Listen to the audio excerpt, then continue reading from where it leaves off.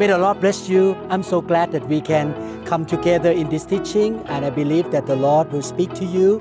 And may the Lord really help you to understand His truth, and His people like you will be strengthened because you know the truth. God bless you.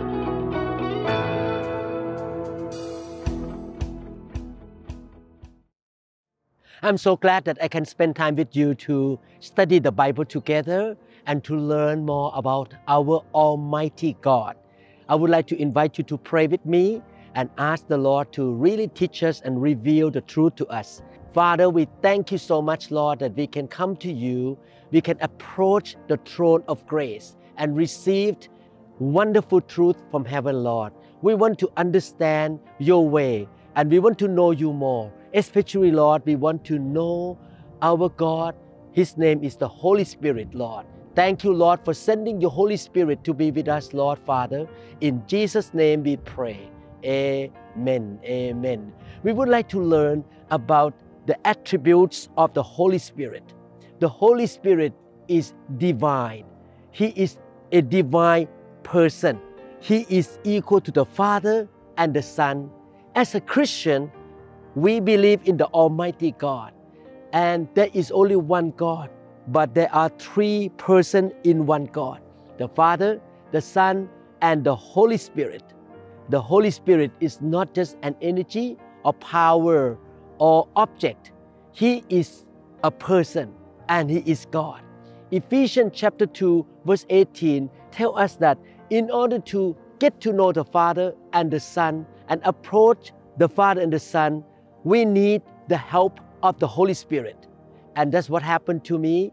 When I'm filled with the Holy Spirit, He showed me, He revealed to me who the Father is. And He helped me to connect to the Father through Jesus Christ. Ephesians chapter 2, verse 18.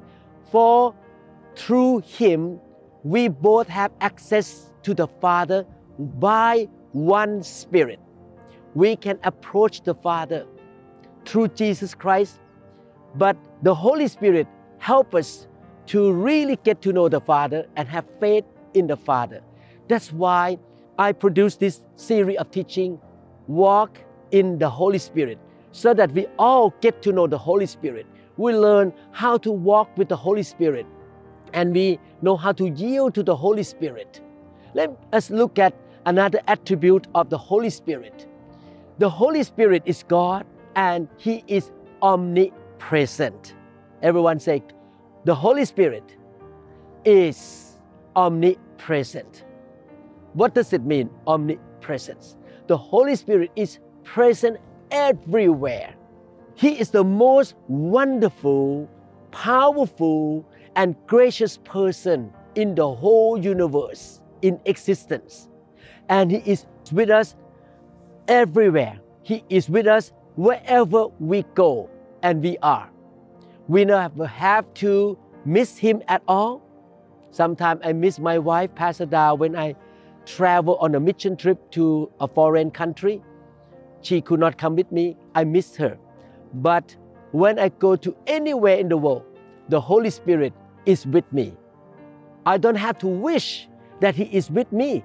And I don't need to leave Him behind when I travel away from home because the Holy Spirit is everywhere and He is with me 24 7 all the time.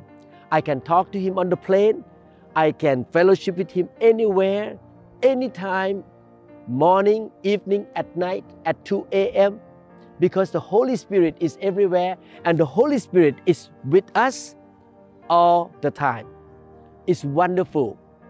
When Jesus was on earth, he said that it's better for you, it's more beneficial for you that I'm going away because I will send the helper, the counselor, the Holy Spirit to be with you all the time. The book of Psalm, chapter 139, verses 7 to 10, the Bible says, Where can I go from your spirit? Where can I flee from your presence? If I go up to the heavens, you are there. If I make my bed in the depth, you are there. If I rise on the wings of dawn, if I settle on far side of the sea, even there you Your hand will guide me, and your right hand will hold me fast. It's wonderful to be a Christian. God is with us all the time. The Holy Spirit is with us. And anywhere we go, we can talk to Him, we can be guided by Him, He can give us wisdom, He can tell us what to do, not what to do, because He knows what is best for our life. When I performed surgery at the operating table in the hospital, the Holy Spirit was with me. He guided me. One time, I performed surgery on a woman who have a bulging disc and she has some back and buttock and leg pain. The MRI scan showed just a bulging disc. I did not know that on that weekend before surgery, she did some yard work and she ruptured another disc higher than the original one. I did not know. She did not tell me that she developed foot drop.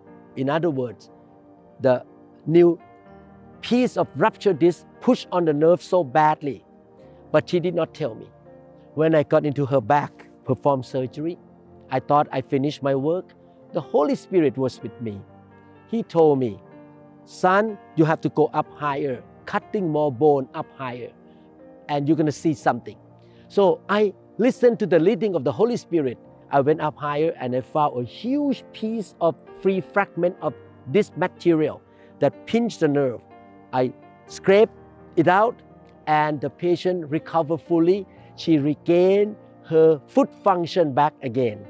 Thank God for the Holy Spirit. He is with us at work, He is with us at home, He is with us during traveling time, He is with us everywhere. Wow, you should recognize that He is with you anywhere, at any time, all the time.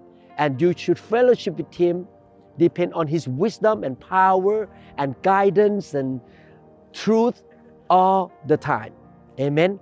So the Holy Spirit is everywhere. Another attribute of the Holy Spirit is the Holy Spirit is omniscient. Isaiah 40, 13 to 14, the Bible says, Who has directed the Spirit to the Lord? Or as his counselor has taught him. Who taught the Holy Spirit?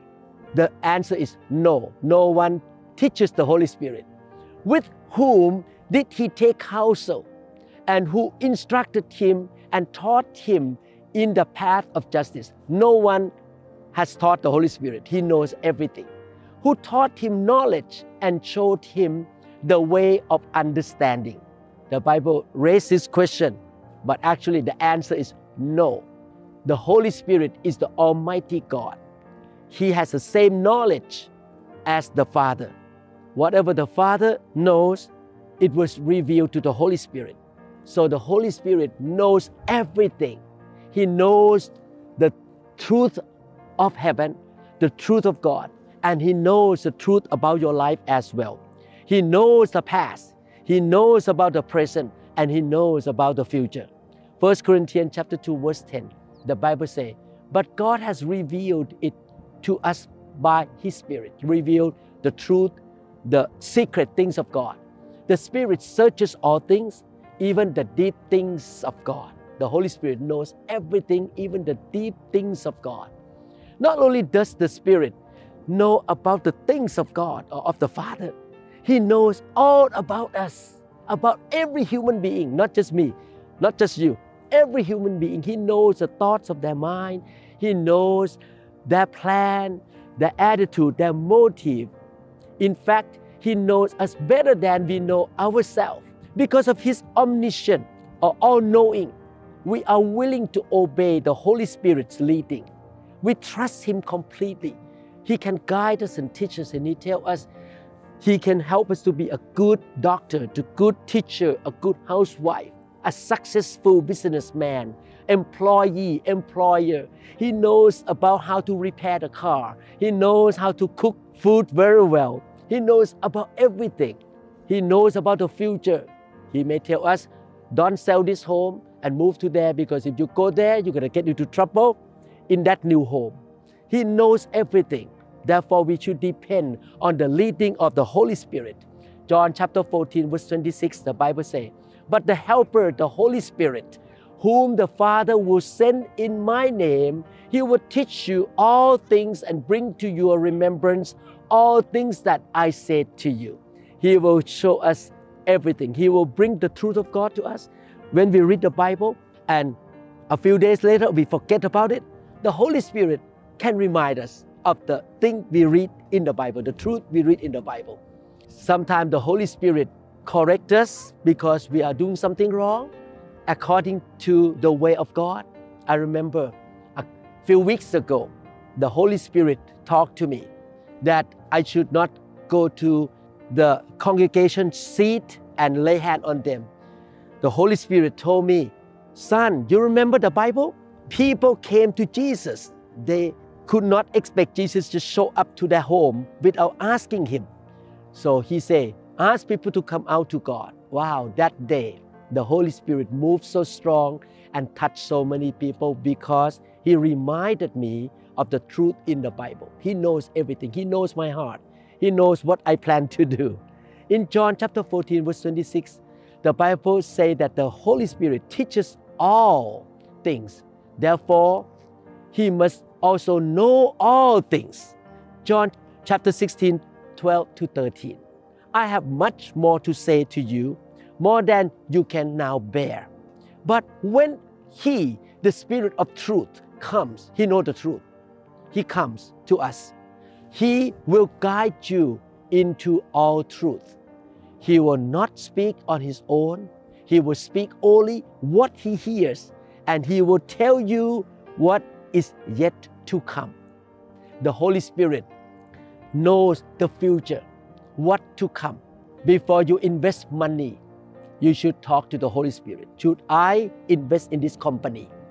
Before you start to date a man or a woman, you should ask the Holy Spirit first whether you should really become a boyfriend or get married to this person because He knows whether if you marry to this person, you're going to have a successful married life or not.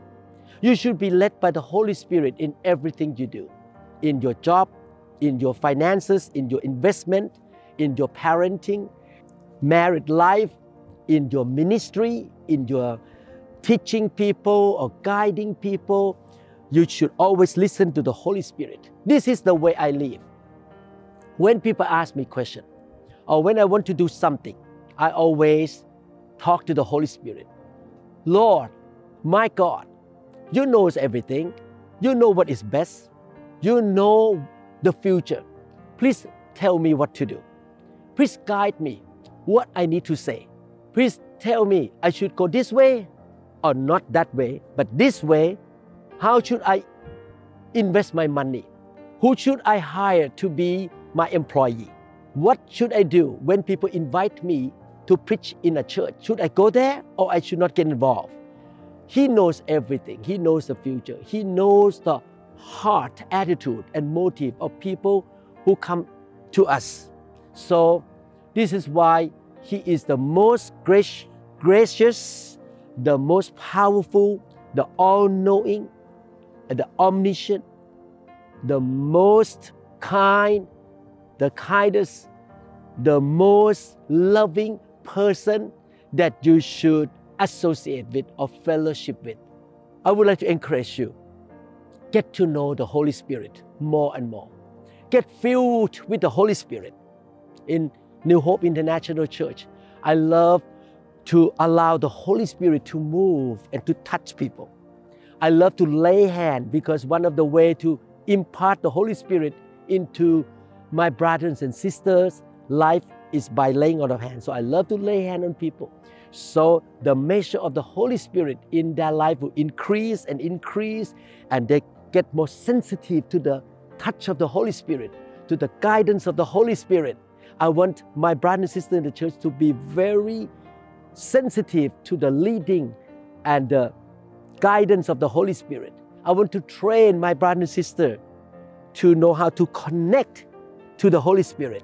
It's so important that we really get filled, led, and helped by the Holy Spirit. He is omnipresent and He is omniscient. I come back to you next time, gonna talk to you again about the attribute of the Holy Spirit. I would like to invite you to listen to the previous session or teachings of this series, Walk in the Holy Spirit. And I would like to encourage you to really develop relationship with the Holy Spirit and all the days of your life walk in the Spirit and surrender to the Holy Spirit. Honor Him, treat Him as your God, and follow His direction. I believe you will do that, and you shall fly higher like an eagle. And God gonna bless you because God say, if you listen to the voice of the Lord your God, I shall bless you, the blessing shall overtake you. And you listen to the voice of the Holy Spirit in your heart, the witness of the Holy Spirit. I would like to invite you to also listen to a series of teaching called Spirit Led Living. There are many lessons in that teaching. Please listen to the series called Spirit Led Living. God bless you. Thank you very much for seeking the Lord. The Lord will honor you and reward you because you diligently seek the Lord your God. God bless you. Thank you so much. We loved you. God bless you. Thank you so much for listening to the whole teaching.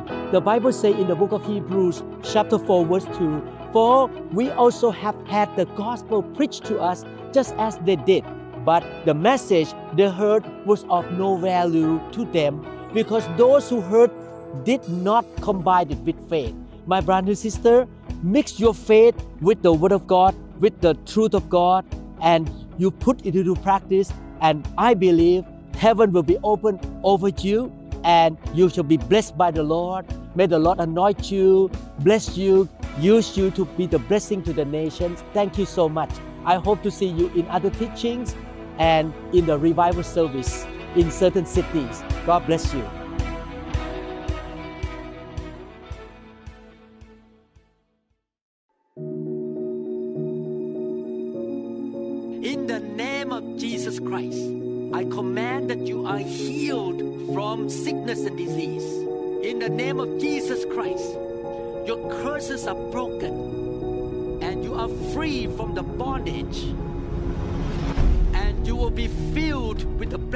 Abraham that will overtake you. In the name of Jesus Christ, I command that the poverty have to leave you and God's blessing come upon you. May the Lord shower into your life His grace, His blessing, His joy, His faith, His goodness, His favor, and you shall know the Lord your God in the intimate way. You will be the people of faith that the Lord will answer your prayer and God will get all the glory. I command that the mountain in your life must be made flat. And you shall have supernatural breakthroughs in your life. The provision, the healing, the victory of the kingdom of God shall follow you. And you shall be his witness in this generation. May the Lord bless you in the name of Yeshua HaMashiach.